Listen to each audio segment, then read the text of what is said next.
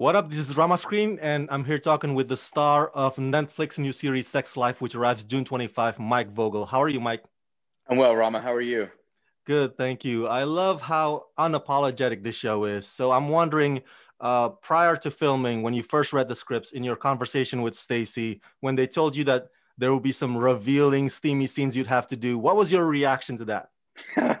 um, my initial reaction is, can we actually film this? Uh, and can they show it? Um, but they, I, I think, there's a testament to Stacy's writing and uh, and the entire creative team. They made the promise, I think, from the beginning that this was never going to be about just gratuitous um, physical scenes for the sake of having these scenes. Every one of these, uh, every one of these intimate scenes is meant to be driven by the story. Uh, and I know I can only speak to what I was involved in and, and the and the scenes that I was involved in. And 100% they stayed true to that. Is it in your face? Is it raw? 100%. But it's it's really to me pulling back pulling back the curtain on a long relationship in this marriage and the ways that we develop blind spots and uh, the ways that we get lazy and how do you remedy that? And can you fight for that? You mentioned blind spots. That actually goes with my next question because uh, cooper is an ideal husband. Uh, so what do you think are cooper's blind spots? What do you think husbands like cooper need to do to do better f- uh, for their spouses?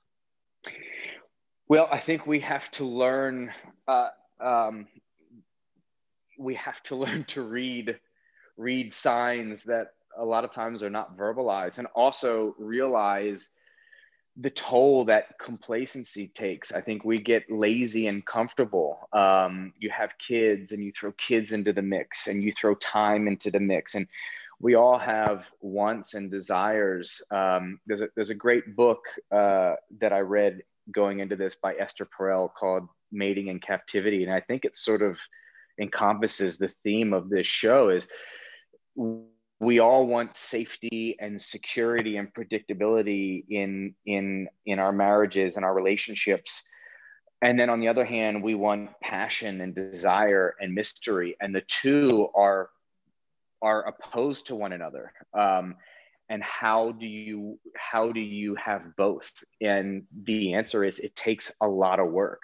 And i think a lot of a, a lot more work than a lot of people are are um, are willing to put into something so, um, but those are Cooper's blind spots. I think he's gotten, he's he's got the wife, he's built the house, he's building the career, he's got the kids, and so you get into this pattern of just juggling life instead of. I had someone tell me one time, uh, husbands, uh, have you stopped dating your wives? Don't ever stop dating your wives. And when you think about it like that over over the long haul, always working to keep things fresh and to date your wife or, or your spouse and uh, and I think that's the, the the question of the show. Wow, thank you for that advice. And uh, uh, for everybody, my fans at home, go check out Sex Life arriving on Netflix June 25. Mike Vogel, thank you for talking to me and congratulations. Thanks, Ram. Appreciate it.